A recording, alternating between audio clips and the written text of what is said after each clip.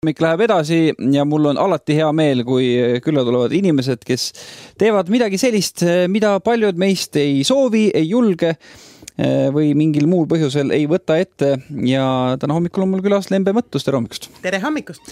Lembe, sul on valmis saanud eh, raamat eh, sellest, kuidas sa kuus aastat tagasi võtsid kätte, läksid lihtsalt sõbrannaga Paapua Uus-Guineale, jätsid mehe ja lapse maha. täpselt nii. mis, mis näoga see mees sulle siis otsa vaatas, kui sa alguses ütlesid, et... vaatas väga imeliku näoga nii, jah? Äh, ja, ja siis äh, ütles, et okei okay,, ma jään maha, keegi peab ju elus olema, kui laps, meil on vaja last kasvatada aga mispärast sa läksid Paapua Uus-Guineale? sellepärast, et see maa on ääretult põnev, ääretult põnev ja ääretult uurimata ja seal on väga palju hõime, kes elavad metsas, džunglis, e, ei ole valget inimest kunagi näinud. linnas elavad ainult kaheksateist protsenti inimestest sa ei ole ju mingisugune antropoloog selles mõttes. ma ei ole antropoloog, aga tundub, et mingisugune väike huvi vist on ja äh, läksid Papua Uus-Guineale ja läksid kohe hõimude juurde elama, jah? Läksin Papua Uus-Guineale äh,. ma kujutasin kodus küll ette, et ma päris niimoodi hõimude juures ei ela.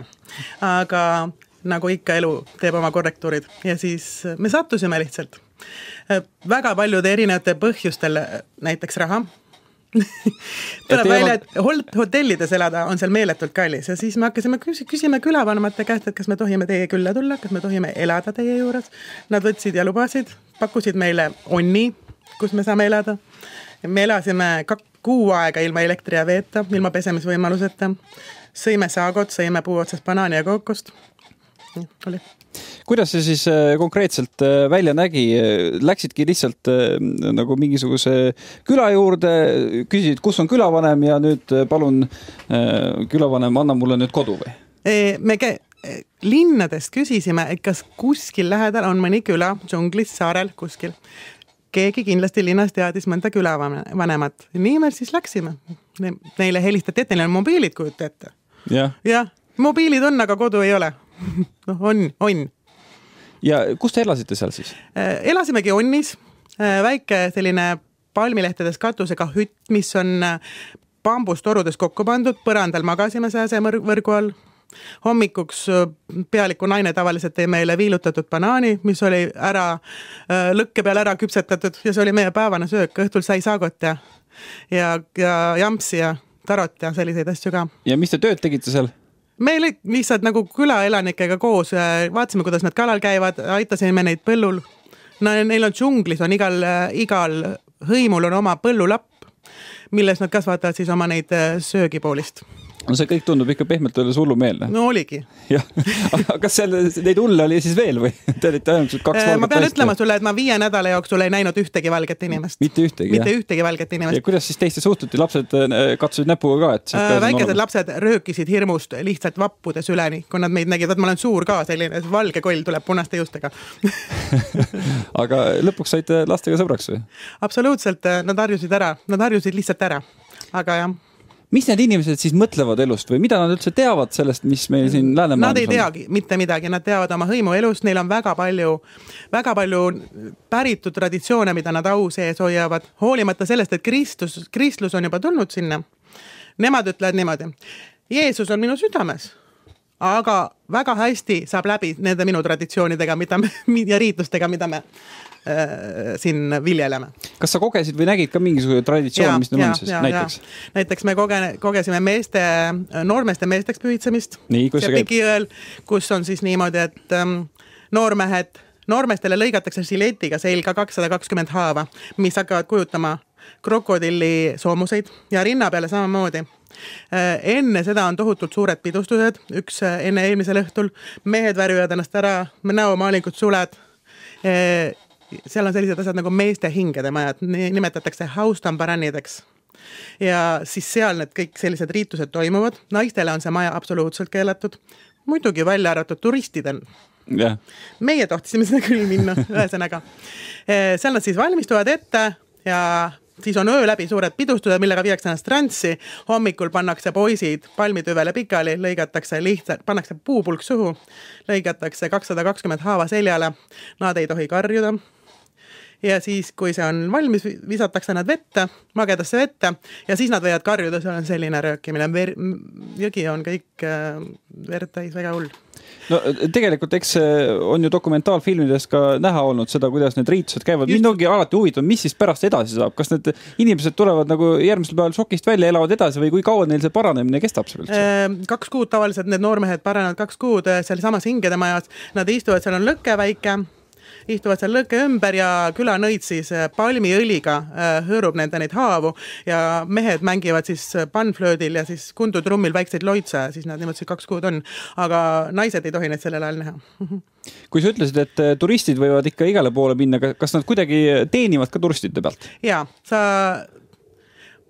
noh, kui me läksime sinna Sepiku küladesse elama, siis me leidsime endale külavanema, kes meid seal ringi juhatas ja sellele külavanemale maksime kõigi nende asjade eest, mida me nägime kas ma võin äh, küsida, et kui suur see summa siis oli? jaa, võid, võid küll küsida. Äh, tavaliselt inimesed maksavad viie päeva eest Sepiku jõel kuskil paar tuhat kuni kolm tuhat eurot nina peale mm. -hmm. meie leidsime sellise külavanema, kes meile kahele äh, tegi selle asja, sama asja seitsmesaja euroga nii et noh, tegelikult sa on... tegelikult pead jah, sa pead, sa pead lihtsalt oskama kaubelda ja rääkida, sest noh, aga no tegelikult on see ikka korralik äri, sest ma ei tea, kui suur see seitsesada eurot seal külas on see on meeletult suur raha, arvestades sellele ka, et küla peale, ütleme kaheksaliikmelisele inimesele, perele läheb kolmteist eurot kuus äh, raha üldse. siin sa saad riideid ja, ja riisi ka osta.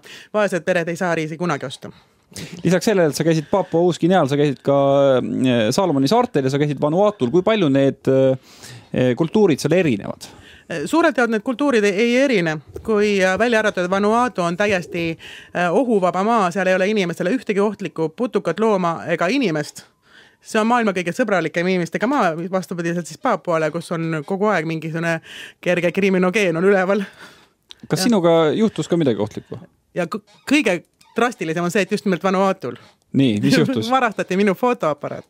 said kätte ka? ei saanud aga seal Papua-Uus-Guineal tõesti, kus peaks olema ohtlik ja kurjad inimesed, ei olnud ühtegi intsidenti? ei, äh, kusjuures kuritegevus on ikkagi koondunud linnadesse ja just sellepärast, et ma nagu, mina märkasin, et et inimestel on väga ebamugav seal linnas elada ikkagi, nad ei ole ju veel harjunud sellega, nad on põõsast tulnud, aga hõimud džunglis, kui sa nende tavasid austad, kui sa neid austad, nendele meeldib väga rääkida. kui sa nendega räägid, kõik on hästi. loodetavasti no või vedas meil. seal piirkonnas on ju väga palju ka kalleid maavarasid. absoluutselt. kui palju. aktiivselt eh, siis nii-öelda valge inimene või, või kasvõi need eh, ninnainimesed himustavad neid ja no., ja kui suures ohus on hõimud? Nad ikka himustavad ja, ja praegu, kusjuures ma just lugesin, et Paapua-Uus-Guinea on maailma kuue kõige kiiremini areneva riigi hulgas. kujutad sa ette, just nende maavarade poolest ja nad eh, ja valitsus lubab kaevandada, jah. aga ei, see ei puutu hõimudesse, nemad ei tea sellest midagi no isegi ma... minu meelest põhiseaduses on määratud, et hõimud peavad saama elada oma traditsionaalset elu edasi ikka päris niimoodi ei ole, nagu omal ajal oli Ameerikas, et indiaanlaste see piirkond jäi aina väiksemaks ja väiksemaks ja. võib küll olla, sellepärast näiteks Vanuatul, eh, FAT saarel on austraallased, ameeriklased seitsekümmend protsenti saarest ostnud ja need omanikud töötavad Xandi kopika eest omaenda maal ja nad on väga õnnetud selle üle. teised väikesed saared, kus me käisime, nemad äh, nagu külavanemad, just sellel hetkel oli selline suur koosolek, kus siis külavanemad tulid kokku, et otsustada, et kas üldse lasta turismi äh, saartele või mitte ja nad olid vastu sellele ja ma olen väga kahe käega poolt, et tõesti peabki olema vastu kui pikk see periood siis kokkuvõttes oli, mis sa selles piirkonnas veetsid? esimese korraga ma olin äh, peale, pealt kaht kuud natuke, teise korraga jälle kaks kuud. ja lähen kindlasti tagasi. miks? See on minu maa, mulle meeldib eriti Vanuatu. no tõmbab, see on nii ehe, seal ei ole midagi võltsi aga nüüd on juba laps suurem, äkki võtad temaga kaasa ja mehe? oi ei, ei, ei, ei, ei, ta on liiga ohtlik, aga Vanuatule võib võtta. sa ütled, et liiga ohtlik, et mees kaasa võtta ja ise lähed kolmandat korda? ei, meest ma võin küll kaasa võtta, mehe võtan ikka kaasa okay., aga last ei julge veel. päris niimoodi ongi jah ja.? No igatahes väga tore, et äh, sa tulid sellest reisist rääkima ja raamat Minu ookeaan on valmis, see on siis põhiliselt äh, Papua-Uus-Guineast, aga. see on suurelt poolt Papua-Uus-Guineast ja natukene ka Saalomoni saartest ja üks saar FAT siis Vanuatus selles raamatus. aga Vanuatusse tahaks ka kirjutada? väga kindlasti, mul on olemas isegi no loodame, et see ka mingil ajal ilmub. Lembe, suur aitäh, et tulid külla, jaksu sulle! aitäh sulle!